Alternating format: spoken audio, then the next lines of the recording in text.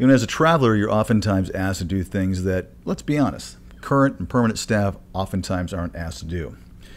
And one of those biggest things is being asked to float. It just seems to be one of those uh, job descriptions and job duties that has been, I guess, affiliated and, and thrust upon travelers since this industry was created.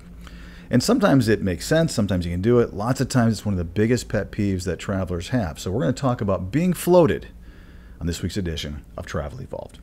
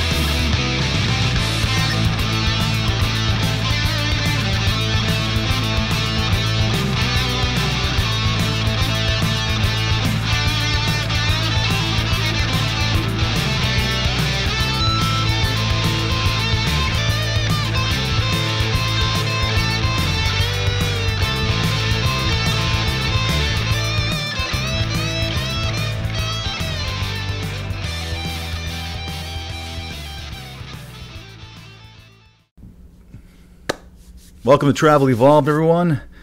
We're going to talk about being floated today. I am Mark Holloway, your host. Is that what I am? I'm a host. I guess I'm a host. I don't know. I'm the. I'm the, the again, yeah, I guess that's the best word I can use to describe what I do. I got, I could use some other words. I'm sure some of you could too, but we're going to leave it as a host. Look at, I'm even doing the, the obligatory newspaper or anchorman uh, shuffle, not newspaper. I should start this whole thing all over again, but I'm not going to because that's how we roll at Travel Evolve. Welcome to the episode, everybody. Uh, episode 59. Man, this second season is just flying by. I'm in Southern California. I, I just love it out here. Um, you know, if you're lucky, you find a place that you come alive. And I've got two unique ones. The other one, believe it or not, is New York City. I love the city. Something about being in in that that city is just it just brings me alive. And the same thing happens out here. And there couldn't be more opposite extremes but maybe that's what I like about them both. So, at any rate, kind of like you guys, you know, you only go around life once, so do what makes you happy. And I think that's part of what we talk about here on Travel Evolved is is taking assignments that are financially sound for you, but also taking assignments that you like, places you want to be, around hospitals you've enjoyed in the past, or uh, people that, you, that that are fun to work with. You, you, again, you guys are such a, a wonderful, unique career that you have that I just think it's crazy to not sometimes do some things for you. you know, absolutely. We talk a lot about that on Travel Evolved, and we're going to continue to. And uh, anyway, today we're going to talk about being floated, amongst other things. Now, this may seem like it's just you know an episode for for nursing, but it's not. I mean, obviously, I've got allied friends that work for us that oftentimes you know you're being floated into a different, slightly different uh, area of imaging, maybe, uh, maybe a machine that you're not comfortable with. Um, you're being asked to do some things that are maybe outside of your scope of work. That's all the things we're going to talk about today. The first thing I want to mention, obviously, and this is about as obvious, you know, thanks Captain Obvious, as they say, is that I'm really not qualified to talk in great deal about the perils of being floated because I'm not an allied professional. I'm not a registered nurse. I'm not a CNA. I'm not a surgical technician that's you know been asked to do a case that's over my head or something I haven't seen before that I'm uncomfortable with. So I, I can't really talk intelligent. This is again one of those episodes where I'm going to try to have the conversation get started. I would like people to kind of take it off from there and, and, and put some comments and really start, you know, taking this episode and start thinking about how you're going to handle this with your career and with your assignment and when, if and when, and if they probably already have, this sort of thing comes up, maybe you'll be slightly better prepared to decide and deal with how you're going to handle uh, being asked to float, uh, especially if it wasn't something that was brought up into in an interview for you. So I, I just wanted to point that out. I, listen, I like I think like last week we were talking about physical fitness. I mean, I'm not a physical fitness expert. I'm certainly not an expert at being floated.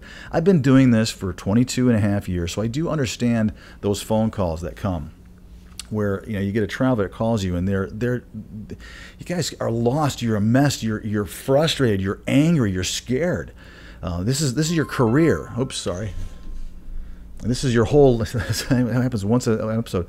This is your whole lifestyle uh, and life and livelihood on on the line, and it's it's it's not cool. It's not fun. We're going to talk about today about uh, the lack of understanding oftentimes you'll get from an agency standpoint, what to do about those sorts of things. So, let's do some housekeeping. Um, we're going to continue talking about the company and and the creation of a company, and really to try to get you guys on this side. You know, I think agencies do a pretty good job of trying to have empathy and sympathy, which are two totally different things for a traveler when you're on assignment. I think we fail at that oftentimes. I really do. And I do think, in all fairness, to be as transparent as I always am, I do think that oftentimes travelers also fail at understanding, having empathy for what it's like to be an agency. It, it, it's just something in our industry. We're considered the machine, the, the you know the monster, the the the. I don't even know how to put it, but it, it's you always have your guard up against us. And so I want to break down some of those barriers. You know, listen, I love to beat up what we do because I honestly think sometimes our side of the triangle of trust or quadrilateral trust is a little bit ridiculous. I do think we're overcompensated for what it is that we do. We're basically a payroll funding mechanism and we hold revenue.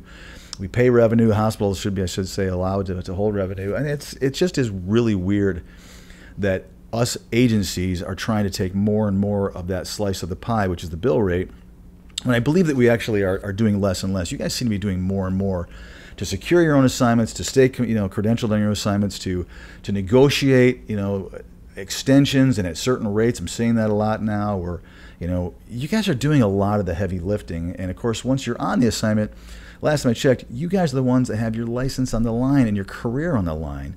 So when you're being asked to float, it's a big deal. It really, really, really, truly is. So um, it's it's a lopsided episode. It's another one of those that, that again I just want to have the conversation get started, and and please understand that as we go through this episode, I am not trying to put myself in your shoes. I can't. I can do my best, but we all know that it's just not the same thing. It isn't even close to being the same thing. I want to talk about what that's like from an agency standpoint when someone is in it is being floated and, and, what you know your your company is thinking and how they're going to act and treat you. So, first and foremost, this is incredibly common. Like I said just a few minutes ago, floating in healthcare travel seems to be, and and you guys tell me. Put some comments down below. Tell me if this has changed. I haven't seen it. I haven't really had this full on discussion recently with any travelers about floating, but it still does seem to me that the traveler oftentimes is the one that gets dumped on when it's time to float because obviously and and you know normally I guess you'd say they're they don't want to put it on their permanent staff because they're going to have to deal with those people for years. They have to deal with you for potentially weeks or months. So let's dump that on the traveler and see if we can get away with it, or let's see what the reaction is, or let's just have it be part of the contract and let's have them discuss that potentially during an interview, maybe, maybe not. So it's it just is part of travel. It has been for as long as I can remember it's always been one of the biggest problems, one of the biggest complaints. So the first thing I would always tell you guys is this should be brought up on every assignment. I know right now, listen, you're looking at maybe a really high paying assignments because there's some definite, you know, differences in pay rates right now in different parts of the country. So you don't necessarily want to put up a warning flag or scare off the person that's potentially going to make the offer to you. I understand that. But if they have, in fact, fallen, quote unquote, in love with you while you're on the interview and you know you're going to get this offer or you're qualified and you look that good on paper and you're feeling like this is really going to happen, it is absolutely important and worthwhile to bring up hey, by the way, do you, do you, do you tend to have a need to float? And if so, how often and where, where do you typically float to? This is an important decision making factor. And I think any manager who's not willing to openly talk to you about this isn't a good manager because they're going to get a traveler in there and they're going to be unhappy. Let's have the conversation. If you're not the right fit for this assignment or they're not the right fit for you, vice versa, then walk away from it. Sorry. I'm just going to be popular. I, am going to just have to turn this off, I guess. It's a popular day. Walk away from the assignment and say, This is not for me because I can find something else. Yes, I wanted that high pay rate, but that's why maybe it's paying so high because they are, in fact, asking, uh, you know, asking to flow. And if it doesn't make sense and what you hear from that manager scares you or intimidates you or makes you question whether or not you would be worried in that scenario, then walk away. That's the first and foremost thing I'll say. But you got to address it. And it's amazing how oftentimes I'll talk to a traveler and that's in this scenario, and I'll say, "Did, did you guys talk about this? I, I don't know. I don't remember." you should remember because if you talked about it, you'd be like, yes, we talked about this, and I was I was either not asked to float, or yes, we talked about this, and you know maybe I was I was misled, or it's more than I thought.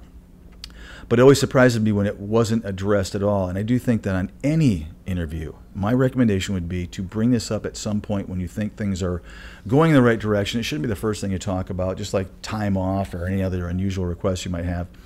But talking about floating is, I think, vital to your success and overall happiness as a traveler. If you're doing that in every assignment, you'll be less and less surprised. Here's why. If you openly talk about it, that manager and she, let's say he or she said to you, "No, we don't float," or "We only float in this in this area," and you were okay with it on the interview. It's really, really hard for them to change that discussion once you get there because they know you were on the phone too wait, we didn't, we, you said no floating, or you said I'm only floating into this area. I'm not, you know, if you're an L&D nurse, I'm only floating into, into, you know, postpartum. I'm not floating into med surg, and we never talked about that. And so you would have that feather in your cap, and you would have that power, if you will, over that interviewer. And I do believe it, it creates the tendency to, to want to float you into other areas that you that weren't discussed besides what was talked about. And it just is, it's important. It's like anything else. It's a job interview. So for anybody who's doing a job interview, asking the questions about what your day to day responsibilities will be like, it's going to be really hard for that supervisor or that manager or your quote unquote boss to say, oh, by the way, I'm going to throw this little wrinkle into it. We never talked about this. If that all makes sense, it is an important thing to address for multiple reasons. And I'm just saying, I'll say it again, it's going to give you a much better quality of your overall travel assignments, your overall travel career. If this is something that you have a little note, and you should have these, we're going to do an episode on interviewing. You should have this kind of thing saying, bring up and talk about floating. So, first and foremost, like I said, this is incredibly common. The reason why, obviously, is that I mean, hospitals do in fact get surprised sometimes. They'll have a low census, or they'll have an increase in a census in another part of the hospital, and it's oftentimes not your manager. It is somebody else who is in charge of distribution of cost that is saying, "Hey, we're paying a really, really high amount for this traveler, and we need him or her here. We need him or her to run this machine. We need this technician to be part of this procedure because that's what we have on our docket today. It's it's not an ideal answer, but you guys understand why it happens. They do get surprised sometimes. Oftentimes it's not a surprise. Oftentimes these hospitals are are ran in chaos. I've mentioned before, in, in 22 years, you start to know hospitals that have that reputation and what's really wild to me, you would think over a couple of decades that there would be different management and things would change. And I have seen, by the way, in all fairness, I have seen some that no longer have that reputation. So that tells you they were either purchased by another organization, parent company, or somehow they did in fact change their overall persona by pr- probably internally out. We'll see. But there are those hospitals that I'm not kidding, 22 years later are still the same monster they were 22 years ago. And it just makes you scratch your head and say, wow, how can you function and run that way? And some of them just do. They run and function in chaos. It, it, it's oftentimes thrust upon them because of maybe seasonality or because of the busyness of that, that particular location of that facility. It's hard to say why, but it is a real thing that some of them just run. Some managers in great hospitals don't prepare and don't anticipate changes or problems or, or census increases and decreases. So they either are surprised that they don't need you or they're pulling your manager and saying, I need him or her over here to do this. It's, it just is the way it is. And again, unfortunately, if it's not being discussed in interview, you as a traveler have the tendency to be the first one to be asked or forced potentially to, to be floated. So it just is the way, as I say, it is. All right, first and foremost, the thing I want to say, I guess I already said first and foremost. So, secondly, and, and probably the, one of the most important parts of this is that, in my opinion, this is your decision. I am not telling you anything that you don't already know. So, this is where I kind of feel a little bit silly talking to the experts, and you guys are, in fact, the experts. But just to remind you, you're in charge don't ever do anything that makes you uncomfortable. This is your career. It's not just assignment. I don't care if it's the best paying assignment in the world and you're worried about making the facility mad, making your favorite agency mad, or burning a bridge with a manager you really like and care about and, and having the whole thing go south. It's okay. Let it go south because it is, in fact, an assignment. It is not a career. If you're, you know, a permanent staff, you don't have those options. You're walking away potentially from an assignment if you're going to refuse. And by the way, the results may not be as bad as you think. They may be saying, "Well, this person has a backbone and some courage, and I understand why he or she is unwilling to float, and I'm going to respect that." I've seen that too. So it is your decision. You are completely in charge. This is your career. And you know, for all you new travelers, understand that as you go down the line and get gain more and more experience, you're going to be less and less likely to just go okay and go along with it because lots of times I've seen people going along with it whether we're talking about floating or other things and they find themselves in a bit of a pickle and then they were being asked well why didn't you question some things and this is a good example of that you don't want to be in a scenario where you know god forbid something goes goes wrong and someone says well why didn't you let somebody know that this area of expertise or this uh, you know this procedure or this machine or this you know, all the different nuances was in over your head? And i do know that that's also a thing because you don't want to be sitting there discussing it with with some some i guess boards or higher ups that are, are going to question you and you guys all know covering their own fannies and having you be the one saying well why didn't you tell us if you don't you raise your voice and tell us so this is your call it's not your company's call. It's not your recruiter's call. They may tell you it is. It's not the facility's call. All those people may want to influence you and let you know this is it. Patient abandonment and all these different things. Baloney. This is your career and you are in charge. And most of you guys know this. And I think the older and longer you've been traveling, not the older, but the longer the time, I mean, the more um, thicker your skin gets and the more resilient you become to um, being influenced and being asked to do something that makes you completely uncomfortable.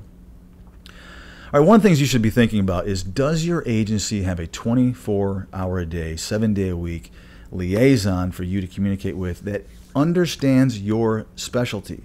It's one thing if you're, you know, if you're a nurse and you're talking to an ER nurse and you're an ER nurse, but if you're a, if you're in rehabilitation and you're a PT and you're calling in, you know, do they have somebody that understands the procedures that you're dealing with?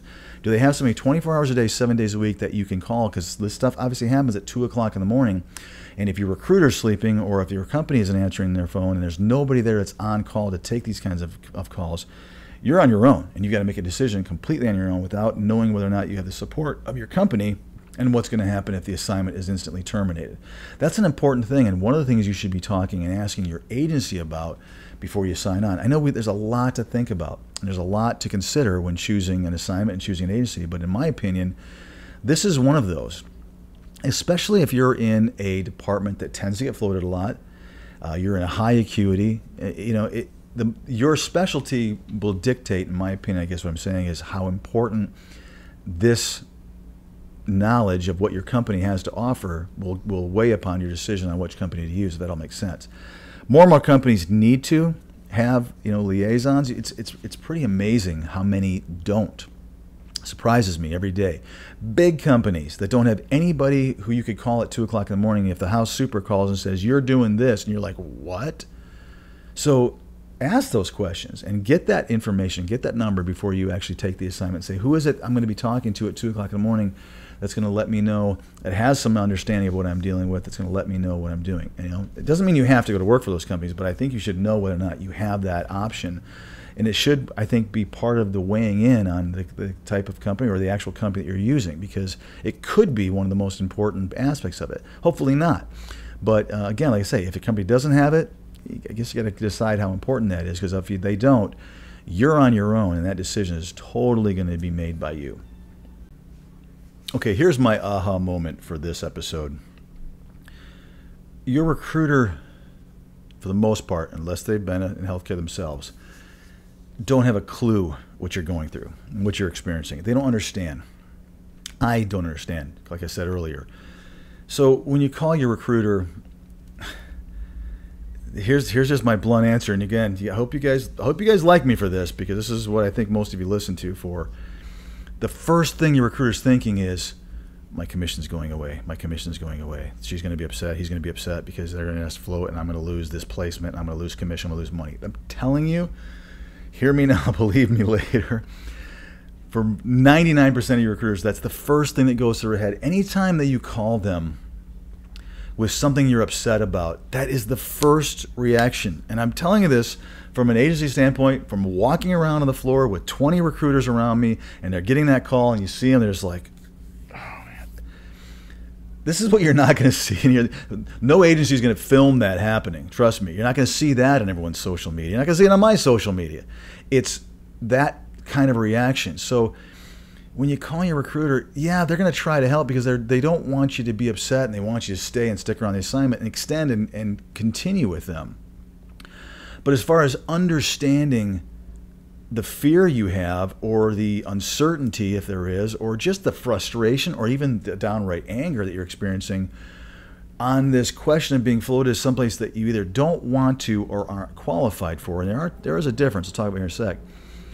Understand that they don't know what you're going through, and I think oh, I'm that's kind of a little bit of a of a of an aha moment for you, where you're like, oh, that makes sense now because they're not thinking that way. So that's why I'm trying to tell you if you have somebody who does understand, it makes a world of difference because now it's not about commission, even though they may be working for that company or may somehow be compensated by that company if they're, you know, out, out of the out of the actual office and maybe working um, you know remote kind of thing as some a lot of agencies do that. I think there's nothing wrong with that they're going to be the ones that are going to at least have a better idea and some clarity as to what really does make sense for you, as opposed to having that commission thing in the back of your mind, which I've always said is probably the biggest stumbling block between a recruiter and a traveler. That is the, the problem you cannot get rid of. And nobody out there can convince me ever that that little relationship glitch isn't there. And it's because one of you is making money off of the other one still staying with the company. And you, would say, well, I'm making money too from the company. Yeah, are you? I mean, you, there's other places to make money.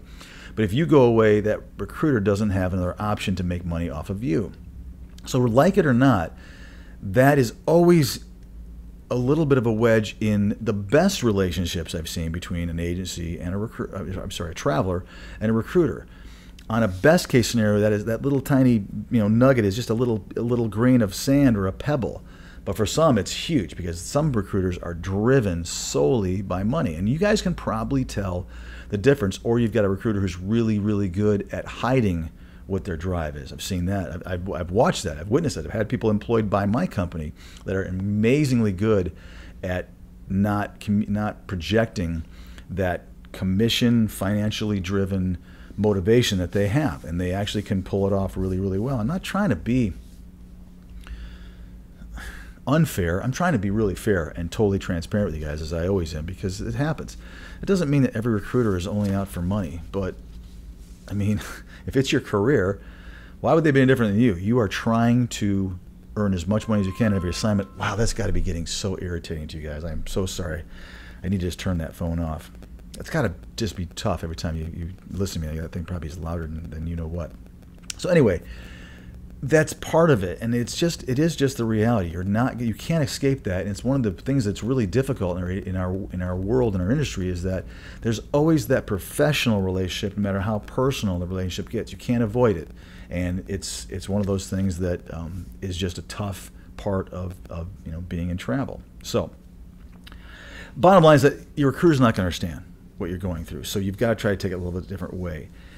And just realize that when you're calling on not just this problem, but any problem, the first reaction is going to be they're going to try to figure out how to salvage you for personal, potentially reasons. And of course, I, th- I do think there's a lot of people out there want you to not be scared or worried. So it's not to say that it's only about commission, but it is one of the first things that pops in their head. So like I said earlier, was this discussed during the interview? That's an important question that you now need to be asked. That's the first thing that I've ever asked anybody that's that's worked, you know, with me or for me is, hey, is, I don't know. I was on the phone. And so you're calling me because you're upset about being asked to float an area. My first question is, did they talk to you about this? And if they did, was it was this specific float discussed?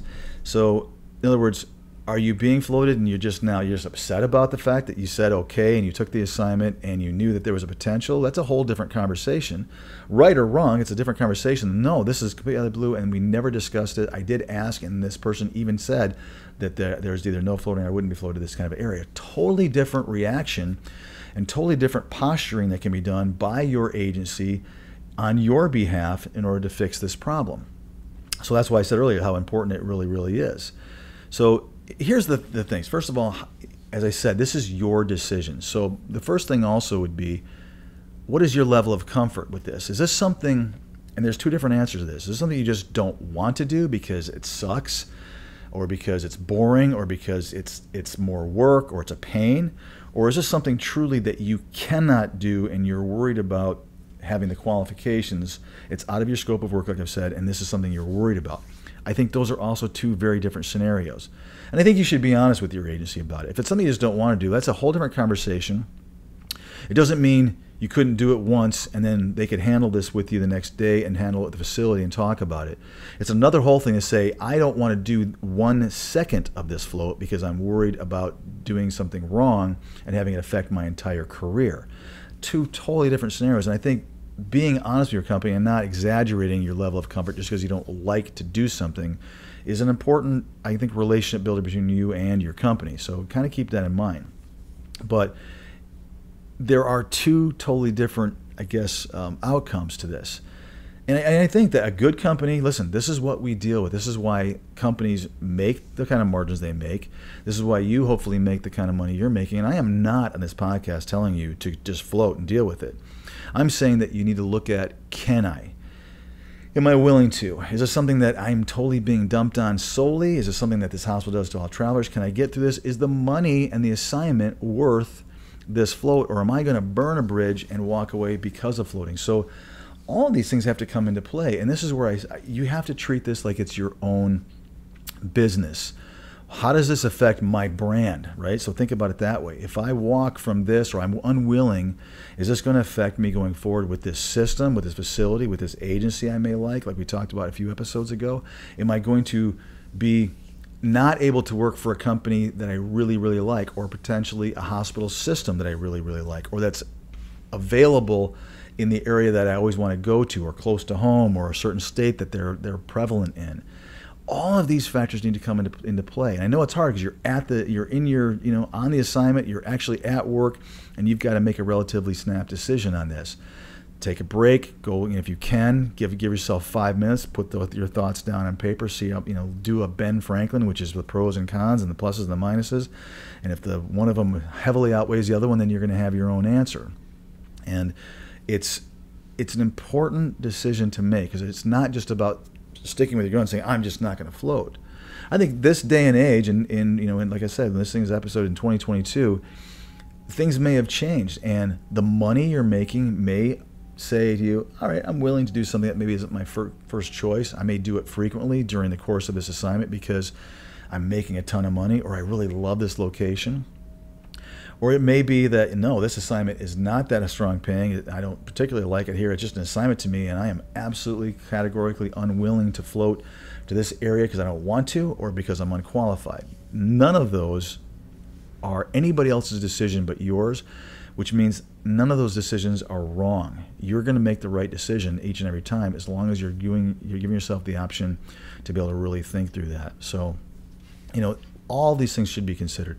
Floating is a tough it's a tough part of being a traveler oftentimes. I, it, it, you'd think it wouldn't be, but if we pull ourselves back and start thinking about how travelers became travelers and how the industry and, and, and hospitals and facilities are ran and how travel healthcare has become part of it, it is understandable to know that it's because of the money that's involved uh, and how it has just evolved again, and that this does make sense that oftentimes you guys are the ones that are being asked to do things that they're not wanting to or willing to ask their permanent staff because there's a long-term effect there. So I think if you if you look at this openly and say, I, I do understand it, and I think that's what you guys always have to do. I've really done my best as you know to run a company to really think about all scenarios and it's a, it's a work in progress. That's always what i'm doing because that's what people come to me with. They come to me with their problem and their solution that helps them right? And there's always another side of this thing and i think if we're able to look at why it is we're being asked what's going on is this manager in trouble in this unit? And they, and they literally have nothing else to do and there's a patient involved and you could maybe go and help or, or sit or watch or do something that's that's in your scope of work I think addressing it and looking at it that way could could help. Now again, I'm not telling you to do it. You're in charge. So don't just accept it and do it, and don't just say no and refuse to do it. Look at some of the gray area there and see if it makes sense on a case by case scenario. So, all right, a couple of things I want to talk about real quick. I always like to throw these nuggets at the end. That's what I'm probably going to start doing.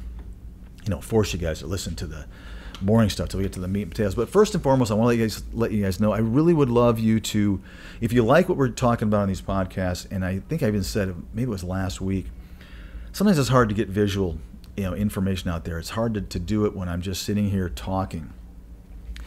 And one of the things that the team has talked a lot about is that we're really going to start building the Travel Evolved Facebook group. So if you haven't joined Travel Evolved on Facebook, go there. I think you have to still have to request to, to be a part of it. Hit hit uh, you know request to join, and they'll they'll get you on board there. A lot of things are going to start changing. This has primarily just been a I guess a club to really talk about when we're releasing episodes and that sort of thing. It hasn't been a lot of content uh, in that Facebook marketing page, and there's about ready to be. So we've had a lot of discussions recently about putting some visuals, putting some actual examples, having you know calculators that would show you margin calculators and things that you could actually download and play around with so you guys would understand, which is unheard of in our industry. A lot of visual aids, more full explanation stuff where you know maybe we take an episode uh, that we struggled with or a concept, and we have a quick, you know, two minute, three minute, you know, sorry, summarization. I got to, I got to do this. Sorry, I got to get the the vitamin B water because uh, I'm just choking here. Get um, get a little bit more detailed explanation, or maybe if someone says in a comment that they that I, I, misspoke, which happens all the time, or something didn't make sense, we can go and start to actually put some real valuable content on that page. We're gonna have some fun. I think it's important to mix it up on a page too. Some fun stuff and some helpful stuff that maybe isn't even a topic on Travel Evolved. Maybe it's an, uh, a little ditty that doesn't merit a full you know episode to be covered on, but something we think is kind of important. So, I would urge all of you guys, if as a as more of a companion to this, but maybe even the lead, and this might be the companion, is to go ahead and ask to be part of uh, Travel Evolved because I think you're gonna you're gonna find that it's going to start to have a lot of really good content. Again, things you just aren't going to see anywhere else, and open, transparent information that would be important. So that's kind of my plug for that. So bottom line is that, like I said last week, we're to start talking a little bit about the creation of a company. I kind of teased you guys last week and said, you know, that's that's where we were and where we are. Briefly, I want to just tell you a little bit about my history because I think it's kind of important so you kind of know. And we'll talk about this once, and then thankfully, we're never going to talk about it again. Real briefly, I have a bachelor's degree from Florida State University in advertising and marketing. So, what I'm doing in travel nursing, I have no idea. It's actually kind of wild because it was a fun industry for me. I, I got into um, marketing and advertising briefly, loved it. It was very fast paced, very exciting, high risk. Um, just what you think of, and it was, you know, it, it was a, really wild career. That I really wanted to get involved in. I didn't, I didn't really enjoy the creativity part because I wasn't very good at that part but I enjoyed the sales aspect of it. And um, the customer service part was, was good too because you'd get people that you know really wanted to critique their their advertising, whether it was on TV or in print, and they, they had opinions, and it was just fun to uh, help them kind of get their brand out and do their sort of things that they that was fun. So I did that for a little while and um, ended up in healthcare staffing, primarily for a travel nursing company, which we'll talk about here in a little bit. But um, you know, I've done some crazy things in my life. When I was in college, I was a disc jockey for a couple years, which ironically I think lends itself to doing something like this because if I mean for those of you that know, listen, this was back in the oh god, I'm gonna, I'm gonna date myself the late '80s. It was an adult contemporary station, so and I did it while I was in school. I was just was it was a summer job that turned into another job. It was kind of fun because I could do it in when I wasn't in class, but I mean, it was it was a lot of organization. You you did commercials. You had a thing called carts, which are basically like an eight track, and you'd have your commercials, and it'd be three little slots of machines. So it was a lot of timing. You'd have some turntables. You had to do an announcement, throw in a couple of national national ads, move into local stuff, make sure that was all queued up and timed. Have your music ready to go, have all the playlists ready to go. Do some you know filler talking, and make sure you kept the audience engaged, but not too much. So it, for me, it was kind of a, a start of what this has become, I think, and I said last week that it feels to me when I had this epiphany that everything I've done in my life has kind of led me to this. This was part of it. I thought about, you know, it's kind of interesting that I'll start doing or continue doing more media because I've had experience with that between my advertising background and between, you know, just that brief moment of, uh, you know, being on the radio. It, it, it allows, I think, for some better conversations on things like this, which means I don't have to practice. I don't have to do a script. Throw that in there with 22 years of experience. It's like you guys talking about what it is that you do. You wouldn't have to be scripted. You would, you know, someone give you a topic. There'd be some things you want to remember, which is the bullet points we put down. But the rest of it's got to be free formed and, and come from the heart and come from what you really think. And that's where this kind of lent, lent itself to. So when I had that epiphany about what we wanted to do, I'm like, this kind of does fill, you know, fit along with it because there is a marketing aspect to creating a new company. You don't just, I mean, I shouldn't say that. A lot of companies just form and here they are and they just start posting jobs on Facebook and they start, you know, having their recruiters start calling and texting and doing those sort of things. We see those companies all the time. And many of them become very successful because they work really, really hard at being successful. But most companies have some kind of a marketing mix uh, in them. So it's kind of interesting when you're creating something brand new. And for those of you that are, one of the first things I started thinking about was with the creation of this new company, what kind of marketing is going to go along with it? And that's when we said, not that Travel Evolve would be, but just the things that we have done with our company that were part of it. It's it's um, it had to be unique. It had to be different. It had to be something that you didn't see all the time. And I find it kind of interesting that if you really look at our industry, there's a ton of let's say recruiters, for example, job posting, right? How many companies out there are really doing marketing and advertising? Very, very few. It's expensive as all get out to start with. It's time consuming. Uh, a lot of travel agencies, frankly, don't understand marketing they're not in that. It's almost like the people that get into healthcare staffing that are marketing people don't understand the way travelers think. So it's kind of a unique perspective. You kind of have to understand both. You have to understand what makes travelers tick and what motivates them and how unique and niche this group is and how much you guys communicate with each other and talk. But you also have to understand how things are marketed and how people start to try new things, try new companies, try new concepts, move from one agency to the other, move from one assignment to the other. So there's a lot of moving parts pretty simplistic, but it actually becomes complicated because of the nature of those two industries kind of clashing, if that makes sense to you guys. Travel, you know, when you're marketing to travelers, you're not marketing to healthcare professionals. You're going to spend a ton of money wasting your time dealing with people that are never going to take a contract. So you, you can't do that. Some companies do. And they sit there, I guess they're trying to convince people to end their careers mid midlife and with children at home and commitments and everything else or have no interest in even taking on this nomadic lifestyle. And they're going to try to convince them too. I think that's a mistake. So for those of you that are looking at becoming your own agency, I wouldn't spend a lot of money trying to convince people to travel. I would try to spend money convincing those people that are traveling to give your company a chance and a shot. And that's what all of us basically are trying to do, one way, shape, or form. But isn't interesting to me, or to you guys, it is to me, I guess, that there's not a lot of actual, real marketing of a company out there. Branding is really important. Um, and if you think about why, it's because people don't really have a brand. Our industry is full of companies without a brand. You tell me right now, and, and answer this question to yourself give me five things that are the brand and why you're working for the company you're working with that are different from every other company out there. There should be five things that that company is striving for, whether they're hitting it on all four cylinders or not. Name five things if you can't that tells you what you need to know is that it may be a great company, but they're really not uniquely different from another another company that does this very same thing. And most industries in our world do have some differentiation. That's what makes a company different. But it's, it's so ironic to me and, and, crazy to me, like we've always said, that our our industry is full of mirror images of itself when it comes to our side of the desk. It's very similar, and there's people out there going, "No, it's not." Really, how many companies have you personally gone through?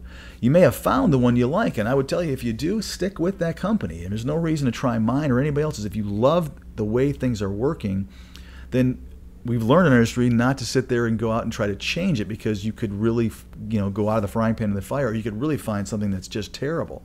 If you like what you're doing, where you're working, and the company you're working for, the facilities you're working through, then stay with that. There's no real reason to change. Oh my gosh, in my opinion, the last time I promise. I can't shut it off. But I, I, it's a long story. My phone doesn't have a. It won't go on to vibrate, which is really drives me nuts. So anyway, that's part of the reason why you don't see a lot of branding out there with companies because in my personal opinion everybody's doing the same thing and they're trying to convince you guys that what they're doing is somehow better than the company that's doing the exact same thing i mean step back and really look at it you guys aren't necessarily loyal to a brand, which is it's not good or bad. It's the facts because there's not a lot of difference. What you guys are loyal to is an assignment based upon a certain pay rate for that assignment. So that's what you're looking for. Where can I make the most money and who has it? And of who has it, which company am I familiar with? Which sounds the best? And I talk to that recruiter or that company, which one do I kind of like? And let's go. That's kind of the way I feel most of you guys have, have moved your your travel and assignment prepping toward. And I think that's it's it's kind of it's wild to think about. So all this went through my head and I wanted to briefly talk about that history of, of, where I came from because I think it's kind of interesting. I was actually hired, and I'll talk about more of this next week. I was actually hired by a pretty big company to do their marketing. That's how I really got in this business. Um, and I'll talk more about that last week. Or gosh, did I say it out loud? I'll talk about that next week because I think it's kind of important. That's how I found myself in this wild, wacky world. And I really, by the way, I'll give you this little preview. I thought it would only be a job, a shortest job to be at best. And I certainly thought, you know, it would be a, a company I'd work for for three or four years, and then I would probably be back in advertising because I was going to market this. And once you get something marketed, you know, you kind of work yourself a little bit out of a job, especially if you're internal. I had no idea that I would still be doing this this long and have this kind of a of a career in this in this industry because it just I never ever anticipated that. So anyway, guys, I appreciate you as always. We're gonna keep talking about this, and then uh, we're gonna start delving into a lot more. I got some really good episodes. Trying to coordinate some guests. Been, I had to make some changes in the schedule, so I'll probably have a few guests on a row because I, I want I like to break those up. But it just with us being out here and some of the, the time differences, by the way, which are now three hours apart, it was kind of difficult to get that coordinated. So we're going to get that done. Awesome episodes coming up. You guys are going to love them, I think. I hope you do. Go to Travel Evolved on Facebook. Look at us. Look us up. Um, and give us a join. You're going to see some really great stuff coming on there in the next weeks and months. And I think you're going to find it really, really helpful and even potentially more helpful than, than listening to uh, these podcasts because it's going to be right there, nuts and bolts stuff. Guys, I'll catch you next time, as always, on Travel Evolved.